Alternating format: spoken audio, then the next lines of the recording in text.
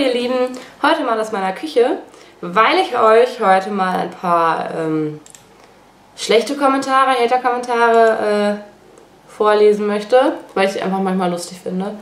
Und ja, das soll auf gar keinen Fall irgendwie ein Video sein, in dem ich ähm, ja, irgendwas schlecht reden möchte. Ich werde auch keine Namen nennen. Ähm, aber keine Ahnung, also ich lese mir eure Kommentare wahnsinnig gerne durch. Natürlich die guten hundertmal lieber als die schlechten Kommentare, aber bei manchen schlechten Kommentaren denke ich mir manchmal auch einfach so, mm, das hättest du nicht schreiben müssen. Ja, genau, so und auf meinem Blog geht nämlich heute auch, oder ging gestern ein Beitrag online über Selbstbewusstsein und äh, psychische Erkrankungen und ja, ich glaube, ähm, es passt ganz gut dazu, dass ich heute mal auf die äh, negativen Hater-Kommentare eingehen will weil die ja auch teilweise echt schwer zu verkraften sind. Ne? Mittlerweile muss ich sagen, stört es mich gar nicht mehr, wenn jemand irgendwie schreibt, hm, ja, du bist dick oder du bist hässlich. Ähm, da gebe ich nichts drauf. Das ist für mich irgendwie nicht, nicht greifbar. Wenn jemand irgendwie schreibt, äh, du bist dick, hast du schon mal versucht abzunehmen mit der und der Methode, würde ich sagen, ja, ich habe versucht abzunehmen mit deiner anderen Methode, aber danke. Also, ne, verstehe den Unterschied. Es gibt einfach diese Kommentare, um jemanden einfach zu verletzen, zu beleidigen, oder diese Kommentare, wo man sagt, okay, ne, das ist der Fakt, den kannst du auch nicht vertuschen, weil du hast einen Spiegel, aber äh, probier doch vielleicht das und das mal, vielleicht hilft es dir. Also so ein bisschen, ja, konstruktive Kritik, würde ich sagen. Ich muss so ein bisschen hin und her gerade mal. Mein Gesicht ist irgendwie überbelichtet. Naja, egal. So, ähm, ja, wie gesagt, ich möchte in diesem Video eigentlich hauptsächlich auf die wirklich äh, richtig, richtig schlechten Kommentare eingehen. Ich lösche auch keinen einzigen, weil ich finde, dass ich vielleicht auch gerade irgendwie Mädels, die selbst mit schlechten Kommentaren zu kämpfen haben oder vielleicht auch kein Video hochladen, weil sie Angst vor schlechten Kommentaren haben, äh, dass, sie, dass man sich das angucken kann, dass man weiß, okay, sowas kann kommen, aber eben auch äh, meine Reaktion sehen, dass man darauf nicht patzig reagieren muss, um das Ganze noch schlimmer zu machen, sondern dass man das auch ganz gut eindämmen kann. So, und jetzt fangen wir einfach mal an.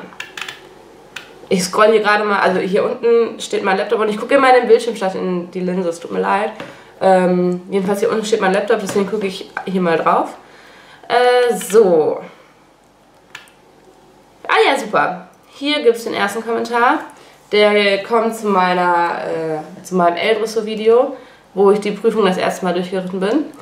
Hier wird geschrieben, du bist zu dick zum Reiten. Es sollte ein Gewichtlimit geben, dass solche dicken Leute nicht reiten dürfen. Ja. Abgesehen davon, dass weder Punkt noch Komma drin ist und es irgendwie Rechtschreibfehler gibt, die echt nicht sein müssten, also zu dick zusammen und Gewichtlimit auseinander, finde ich den Kommentar einfach doof. Das ist so ein Kommentar, wo ich mir echt sage, so, das hättest du dir schenken können. Es bringt nichts, die Aussage ist irgendwie nichts und ja. Ja. So. Ähm, der Kommentar darunter war total toll und der zeigt eben auch, was für eine unglaublich tolle Community ich habe. Und zwar schreibt da jemand, ähm, hallo, ich finde, es sollte ein Limit geben, das dumme Kommentare eingrenzt. Es gibt eben Leute, die etwas molliger sind und es gibt Leute, die dünner sind. Sie hat so oft gesagt, dass sie versucht abzunehmen, aber weißt du was? Es gibt Menschen, die gucken Schokolade nur an und nehmen zu. Außerdem, solange sie gut zum Pferd ist, ja, und das, der Kommentar, ich musste nichts dazu schreiben, ich habe ein Herz dazu geschrieben, weil, also auf den ersten Kommentar wusste ich nicht so ganz, was ich antworten sollte, weil ich dachte so, hä, ja, okay, alles klar. Und äh, auch diesen Antwortkommentar dazu, das fand ich so toll, das ist mal jemand, der hört mir zu, der weiß, ich bin am Abnehmen, ich habe schon was geschafft, aber es geht eben nicht von 100 auf 0, so, ne? Aber total super, aber ja, gut. Und die gleiche Person hat unter dem gleichen Video noch was geschrieben und ohne Helm ist ja unvorbildlich. Unvorbildlich. Punkt. Also den Punkt hat sie jetzt gemacht. Äh, Rechtschreibfehler sind noch drin. Und zwar hat sie ohne, ohne H geschrieben. Es könnte auch heißen, und One Helm ist sehr unvorbildlich. Ja, was soll ich dazu sagen? Ich bin kein Vorbild. Ähm, jeder muss selber wissen, ob er mit oder ohne Helm reitet. Ich werde in Zukunft auch wieder mehr mit Helm reiten. Ähm, ja, mehr kann ich dazu irgendwie nicht sagen. Ich bin so lange ohne Helm geritten und es gab eine Zeit, da ist jeder ohne Helm geritten und da war es total in Ordnung. Ähm, da hat keiner irgendwas zu gesagt. Und ähm, es ist vollkommen richtig, dass jetzt wieder so viel Wert auf Sicherheit gelegt wird.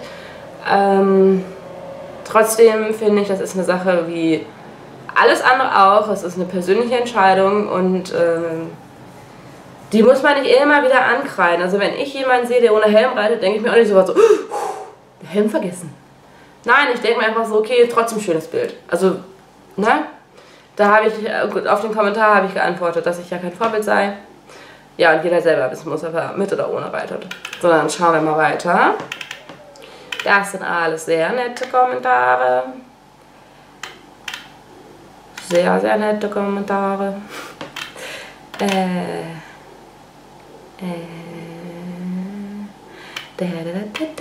Das ist, das ist kein Hasskommentar, aber der hat mich sehr verwirrt.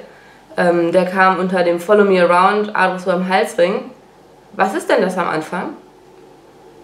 Ich habe nur geschrieben, was genau meinst du? Da kam leider nichts mehr zurück. Ähm, ja, was ist denn das am Anfang? Würde mich jetzt auch interessieren. So. Und die gleiche äh, Kommentarerstellerin hat dann auch noch geschrieben, auf das gleiche Video, gibst du dein Pferd ernsthaft eine Tüte Leckerlis? Also schon wieder mit Rechtschreibfehler. Gibst du dein, das heißt deinem Pferd, ernsthaft eine Tüte Leckerlis, Tüte groß Leckerlis auch. Aber ich bin echt so ein bisschen so ein kleiner Deutschfuchs. Ich hasse es, wenn man ohne großen kleinen Schreibungen und ohne Punkt und Komma schreibt. Ja. Darauf habe ich, auf diese, diesen Kommentar mit den Leckerlis habe ich jedenfalls so geschrieben, ganz sicher nicht. Das mache ich nicht. So, und schauen wir mal weiter. Alles sehr nette Kommentare. Sehr nette Kommentare. ja, äh, das ist ein Kommentar, der hätte von mir richtig böse aufgefasst werden können. Ich habe ihn einfach mal irgendwie lustig dahingestellt. Und zwar äh, kam unter dem äh, Eldressur-Video, wo ich geritten bin, du brauchst ein Sport-BH. Ich so, danke, trage schon zwei.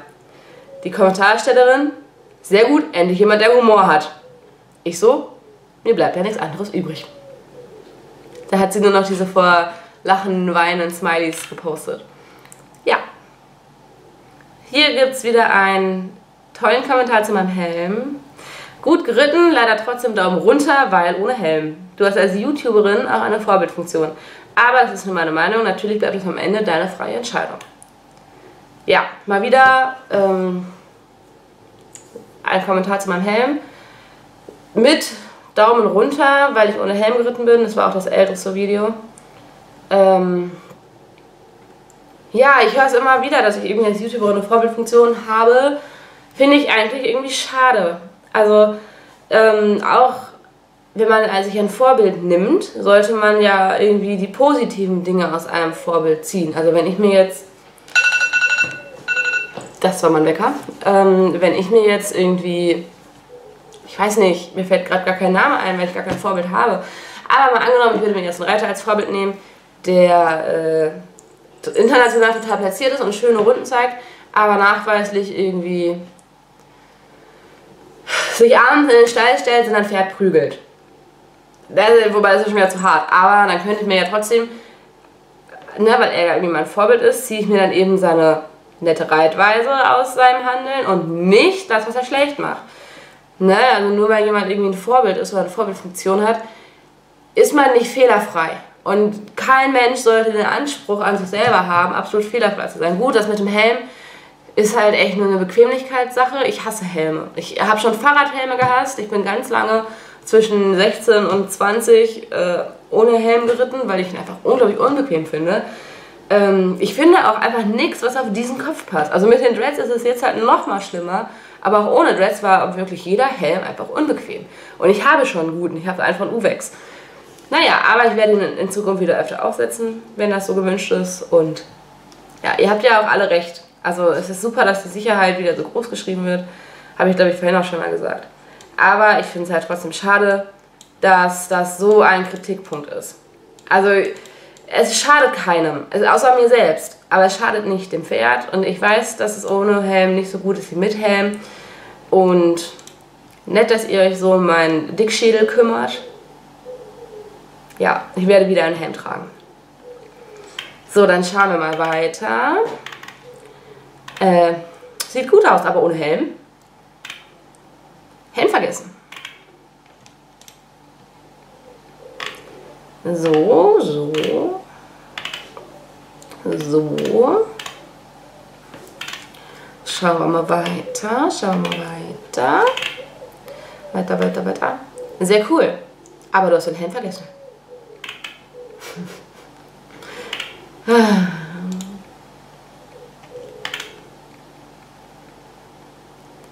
Schauen wir mal weiter. Den Kommentar lese ich gerade. Ähm, der ist schon drei Wochen alt. Und da steht auch beim Scrollen, dachte ich so, hä, die Halle kennst du doch. Jetzt überlege ich tatsächlich, woher die die Halle kennt. Ach, das ist ein Turniervideo. Ähm, ich glaube aus Westenholz. Ja, vielleicht kommt die auch aus Westenholz.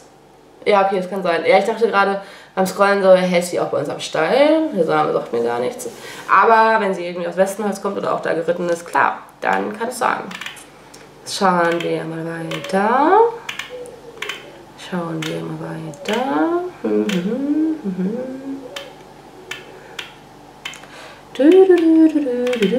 Ah, das ist ein Kommentar, der freut mich wirklich sehr. Ähm, und zwar, du hast abgenommen, oder? Das finde ich echt total schön. Also gerade weil das Abnehmen ja für mich so ein großes Thema ist oder war oder eigentlich immer noch ist, freue ich mich halt sehr, wenn andere Menschen dann auch mal merken, dass ich abgenommen habe. Ne, ich habe ja alles irgendwie online gemacht und es gibt halt Videos von mir von vor einem halben Jahr, wo ich deutlich mehr drauf habe als vor einem äh, als jetzt.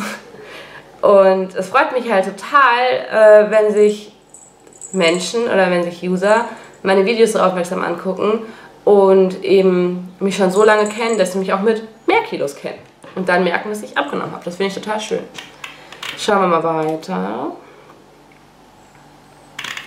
So, das sind alles nette Kommentare. Also ich gucke jetzt auch nicht äh, die Kommentare durch bis vor drei Jahren. Ich glaube so im letzten halben Jahr. Das reicht. So, so, so.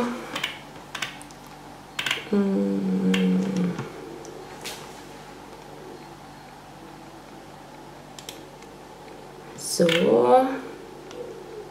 Ja, das war so ein äh, Kommentar, der ist wirklich nicht böse gemeint.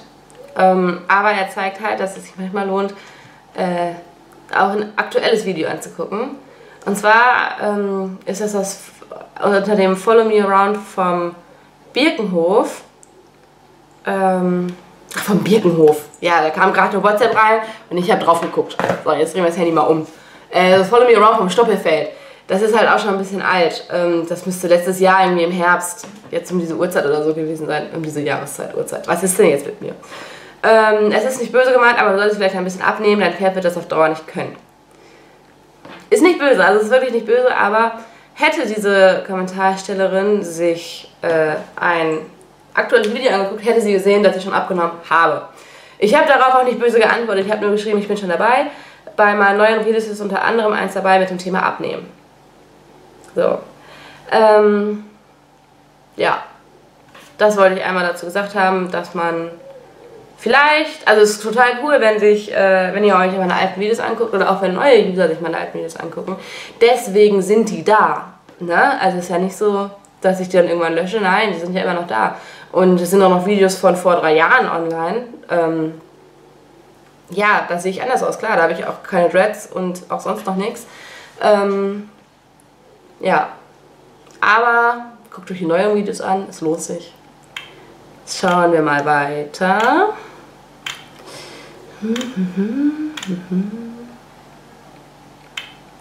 Ja, das ist auch so ein Kommentar, der war wirklich irgendwie nur da, um zu stänkern, glaube ich. Äh, wie creepy, ach das war unter dem Kommentar, wo ich Kim Burschik hochgeladen habe in ihrer Stute. Wie creepy bist du denn? Lädst ein Video von einer fremden Reiterin hoch und sympathisch hoch 100. Das sind immer die, die selbst nichts können und mit anderen Klicks generieren wollen. Ähm, ja, so ist es halt irgendwie nicht. Also ich reite nicht M, zwei Sterne auf Turnier, ja. Und wenn das bedeutet, dass ich nichts kann, dann hat die auch recht mit ihrem Kommentar. Kim habe ich allerdings gefilmt und hochgeladen, weil ich mich mega gefreut habe, Kim zu sehen. Also ich habe äh, die Starterliste von dem Turnier gecheckt, weil ich weiß, dass das ein relativ äh, bekanntes Turnier ist, auch außerhalb unserer Gegend. Und habe gesehen, dass Kim reitet. Ich glaube, Luna Labs war auch da. Aber Kim ist halt einfach irgendwie so, also ich gucke sie einfach wahnsinnig gerne. Ich, ich gucke mir im Internet halt auch total oft ihre Videos an, sei es jetzt noch von Torgismo und Marakai oder auch von Falvel oder auch von äh, Powerfee und den anderen großen. Und ich war einfach echt so ein bisschen im Fangirl-Modus, als ich sie da gesehen habe. Ich war mit zwei Freundinnen da und die sagten auch so, ey Anna, die ist jünger als du, jetzt komm mal runter und dann gehst du halt dahin und holst dir ein Autogramm. Ich so, hm, nein, das kann ich nicht. Konnte ich wirklich nicht. Aber ich habe sie halt einfach hochgeladen, weil ich sie gerne gucke, weil ich dachte, vielleicht gucken sie andere Leute auch gerne und vielleicht möchten auch andere Leute gerne äh, das Video aus der Prüfung so von ihr sehen. Um die Klicks ging es mir jetzt nicht. Ich weiß auch gar nicht, ob sie mir so viel Klicks gebracht hat. Ist mir auch egal. Schauen wir mal weiter.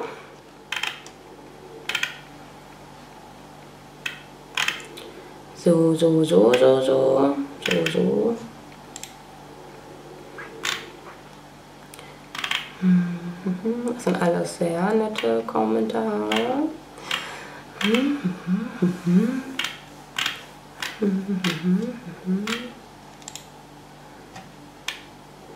Das ist, die sind geil. Ähm, zu dem Jump and Run vom Birkenhof-Turnier. Wäre gescheiter gewesen, wäre es gelaufen. Glaube ich nicht. Weil, also ich kann auf jeden Fall besser reiten als laufen. Ähm, und dann auch noch von der A-Dressur aus April vom Birkenhof-Turnier. Leider ist das sehr klein, aber deine dicken Oberschenkel erkennt man von kilometerweiter Entfernung. Hart.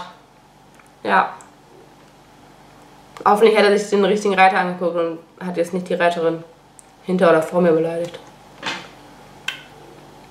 So. Schauen wir hier mal weiter.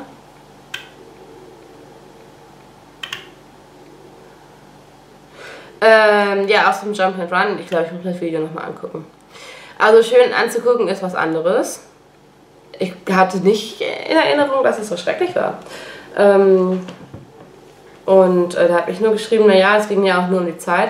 Ansonsten würde ich dir da recht geben. Also ein Stilspringen war es nicht.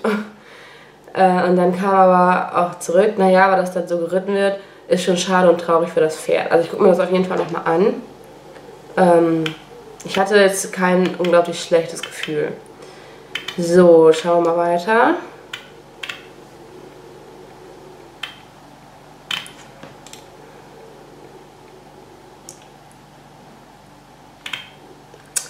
Hm, hm, hm, Alles nette Kommentare. Äh, ach, ja, das ist hier. Ähm, das war, also ich glaube, das waren Freundinnen. Ähm, da schrieb die eine unter mein A-Dressur mit Halsring-Video, reite doch mal eine schlechte S-Dressur, da würden sich dann alle vor Lachen weglegen. Danke, danke. Unter dem äh, Turniersaison 2016 Rückblicksvideo schrieb dann, äh, ich glaube ihre Freundin, ein Tipp, übt mal aussitzen. Und unter dem gleichen Video schrieb dann äh, die mit der schlechten S-Dressur, ein Tipp, über aussitzen. Und unter dem E-Dressur-Video vom letzten Jahr aus Ferl ähm, schrieb dann wieder eine, ich würde dir zu gerne eine Tonaufnahme von dem Gegacker von mir und meiner Freundin schicken, aber es geht ja leider nicht. Guck dir mal Lisas Vlogs, Lia, Nelfi, bla bla an und lerne was von denen. Und ihre Freundin schrieb dann unter mein äh, Eskadron Springschabracken Sammelvideo, guck dir mal die coolen an. Ed, sowieso, sowieso und sowieso. Ich glaube, es waren Freundinnen. Ich glaube, die hat einfach Spaß. Und also zuerst dachte ich noch so, hey ja, aber warum, warum schreibt ihr das und warum schreibt ihr das unter so viele Videos? Und dann dachte ich mir so, irgendwie süß, dass die beiden meine Videos so scheiße finden, aber sich eins, zwei, drei, vier meiner Videos angucken. Danke. Dann schauen wir mal weiter.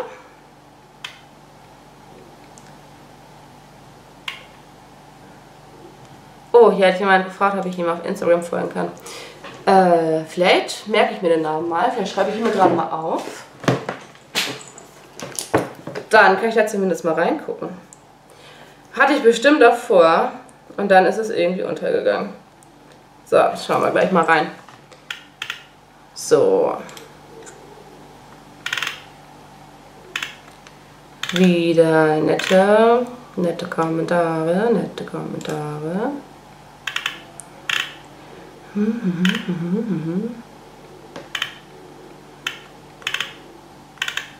Also ich glaube, äh, das war's. Doch, ich glaube, also ich bin jetzt, die Kommentare sind jetzt alle ein paar Monate alt. Und das sind eigentlich alles nur noch nette Kommentare. Und ich glaube, das war's. Ja. Ja. Ja, wie ihr seht, das sind nicht viele Kommentare, die irgendwie schlecht sind. Aber das Video geht auch schon wieder 20 Minuten lang. Ähm, ich würde sagen, es reicht einfach für heute. Und äh, ja, also ihr seht, es gibt kein, ähm, kein Kommentar geht hier unter. Jeder Kommentar bekommt seine Aufmerksamkeit. Ich lese mir alle durch und freue mich über jeden einzelnen. Und äh, freue mich einfach darüber, dass ihr so aktiv seid und dass wir so in Kontakt stehen. Und ja, ich liebe es, eure Kommentare zu lesen. Bitte schreibt mir mehr. Und ja, ich würde erstmal sagen, wir sehen uns dann im nächsten Video, nächste Woche. Hoffentlich wieder mit einer Turnierprüfung. Ich bin schon ganz äh, kribbelig. Und ja, bis dahin.